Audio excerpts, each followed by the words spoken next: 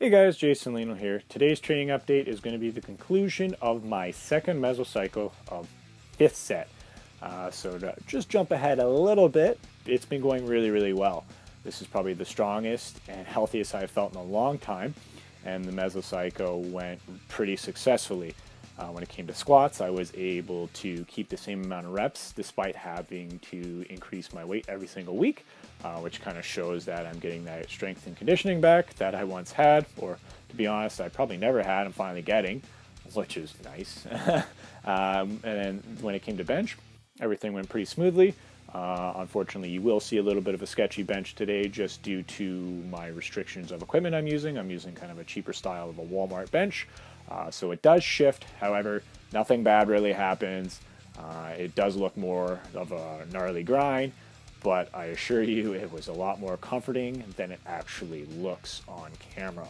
Uh, deadlift is going as good as normal. I haven't really unwrapped. Next cycle does look like I'm going to be unwrapping some deadlifts, so we'll have to see how that goes. I am still a little weary due to you know past issues that I've had with deadlifts, but we'll definitely have to see.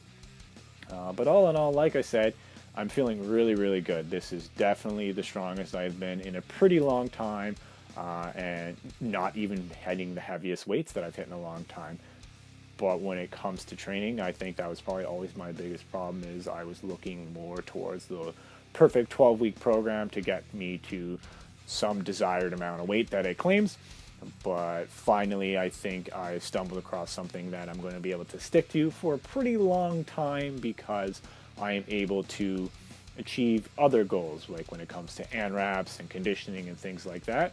Um, so, yeah, we'll have to see where things go from here. Uh, unfortunately, I can tell you where they're not going to be going, and that is to the Toronto Pro Show for my powerlifting meet, and that is due to, well, it being canceled. Like pretty much everything else right now. Uh, you know, it's no surprise. I'm still training in a garage. Um, the gyms aren't open, and everything else in the world is pretty much being canceled, which does suck.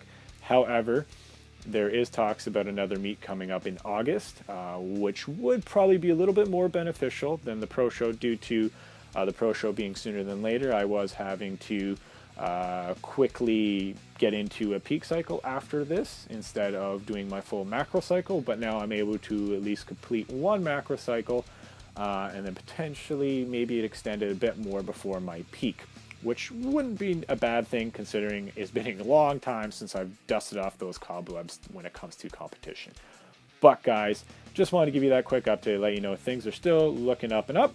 But do me that favor, go down below, drop me some comments, because I'd love to hear what you have to say. Also hit that like, share, and subscribe to spread that love, because I will see you next time.